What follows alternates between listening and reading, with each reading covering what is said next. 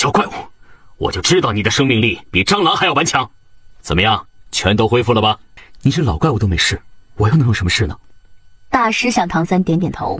小三，既然来了，就练习吧。我们会议继续。尽管我军在第一战就取得了巨大的胜利，重创武魂帝国军队以及魂师军团，但目前的形势对我们来说依旧是十分不利的。宁宗主，您有什么建议吗？小三身体恢复了，还是听听他的建议吧。英雄出少年，现在已经是他们这些年轻人的世界了。大师的目光转向唐三，微笑道：“小三，那你就说说吧。”有没有什么好办法？从目前的情况来看，我有两个办法。哦，老师，宁宗主，各位前辈，那日一战，比比东受伤很重，据我估计，他至少得养伤半个月，他是不会出现在战场上了。我的两个办法之中，第一个办法具有一定的风险性。我们七怪之中，我的二哥奥斯卡原来在史莱克学院中有一个香肠专卖的称号，而现在的他。已经是一位超过八十级的食物系魂斗罗了，在大家的辅助之下，我这位二哥至少能制作出两万个飞行蘑菇肠。如果发给我们唐家军，那么他们每个人就都能配备两根。当大军从正面进攻的时候，如果我唐家军突然升空，从空中打击嘉陵关城头上的敌军魂师，必然会起到奇效。听了唐三这番话，众人的目光都落在了奥斯卡的身上，同时也都有了眼前一亮的感觉。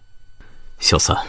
你这个建议很好，如果操作得当的话，我们定能再给武魂帝国的魂师一个惊喜。